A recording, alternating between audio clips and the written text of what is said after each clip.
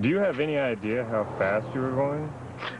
The passive type probably plays Nintendo. Do you have any idea how fast you were going? You tell me. You're the guy with the radar. The aggressive type probably plays Sega. Do you have any idea how fast you were going? I don't know. The little needle stops moving at 100. And the other type definitely plays 3DO, the most advanced home gaming system in the universe. 3DO from Panasonic Gold Star and Creative Labs. Now $3.99 plus free games.